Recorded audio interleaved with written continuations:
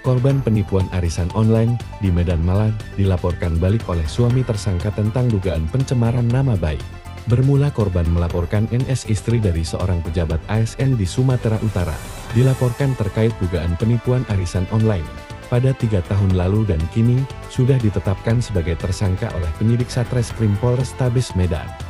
Setelah melaporkan pelaku korban penipuan arisan online, saat ini korban malah mendapat surat panggilan untuk diperiksa atas laporan dari suami tersangka NS tersebut pada Rabu siang.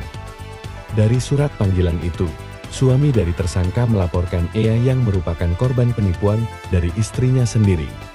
Hal itu pun terlihat aneh dalam penanganan kasus dugaan penipuan arisan online di Satreskrim Polrestabes Medan.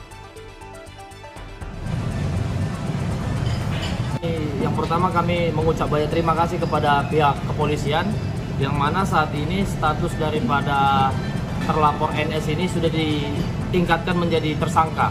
Lebih tepatnya sekitar tanggal 25 Maret kemarin kami mendapatkan informasi dari klien kami terkait, terkait status dari terlapor ini menjadi tersangka. Nah, tetapi kami sedikit bingung ya. Kenapa kami bilang bingung? Karena di sini nah, klien kami eh, dilaporkan oleh suami dari tersangka NS ini atas dugaan tindak pidana pencemaran nama baik.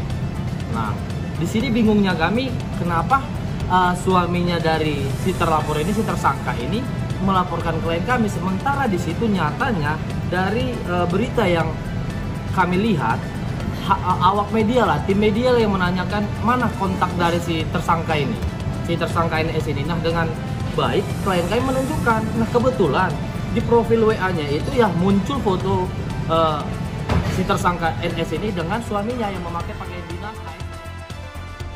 Dari Medan, Sumatera Utara, Abi untuk tim News TV memberitakan.